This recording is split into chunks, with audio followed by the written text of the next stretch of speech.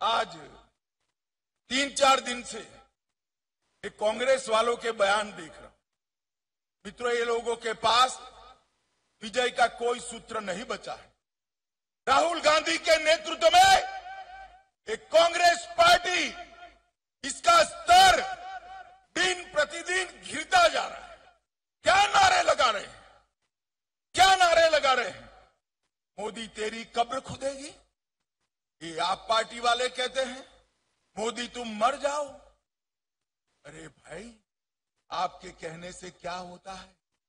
ऐसा कहने से ईश्वर आपकी नहीं सुनेगा, क्योंकि 130 करोड़ की जनता मोदी जी के लंबे आयुष्य के लिए प्रार्थना करे और सुन लीजिए, और सुन लीजिए कांग्रेस वालों राहुल गांधी जी ने जो सूचना दी हो आपको सिद्धरमैया जी भी सुन ले डीके शिव कुमार भी सुन ले जितना कीचड़ जितना कीचड़ मोदी जी पर उछालोगे, कमल इतना खिल कर बाहर आए।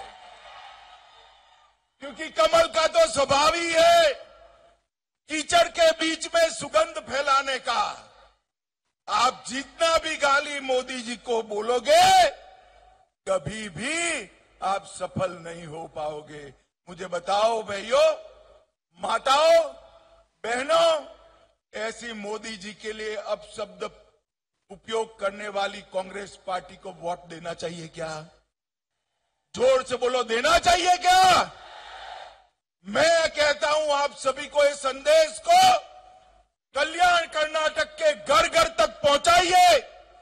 जो विकास की बात नहीं करते हैं, और समग्र दुनिया में भारत का यशोगान बढ़ाने वाले प्रधानमंत्री जी के लिए मरने की कामना करते हैं, ऐसे लोगों को राजनीति में जगह नहीं देनी।